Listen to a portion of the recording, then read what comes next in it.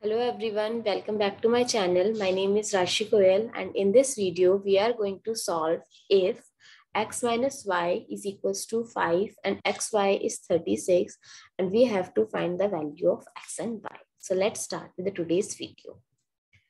If I'll take this as equation number 1 and squaring both sides,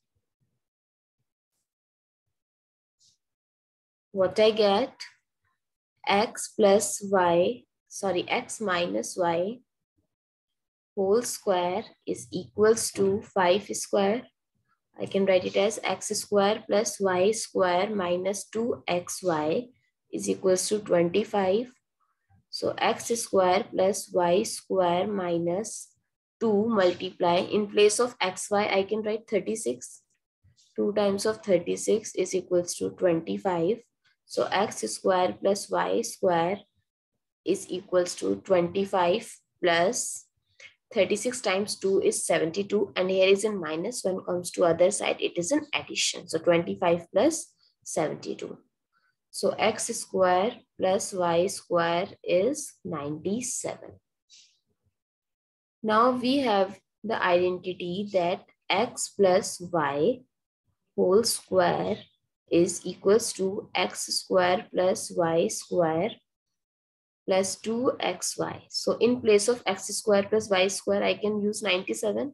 So 97 plus 2 times of, in place of xy, I can write 36. So 97 plus 2 times of 36 is 72. So 97 plus 72 is 169. So the value of x plus y whole square is 169. If I'll take this square to other side, it becomes square root. So x plus y is square root 169. So the value of x plus y is plus minus 13. Now, I have two equation that equation number one and I can take it as equation number two. So if I'll add both the equations, so x plus equation number one plus two x plus y plus x minus y is equals to, I'll take plus 13 first. 13 plus 5. I eliminate addition y with negative y. So 2x is equals to 18. The value of x is 9. When I'll take 13 as positive. And if I'll take 13 as negative and add both the equations, so x plus y plus x minus y is equals to minus 13 plus 5. So I eliminate again y positive y with negative y. So 2x is equals to minus 8. The value of x will be minus 4. We have two values of x. Similarly, we find the value of y by putting first x is equals to 9 and then put x is equals to minus 4.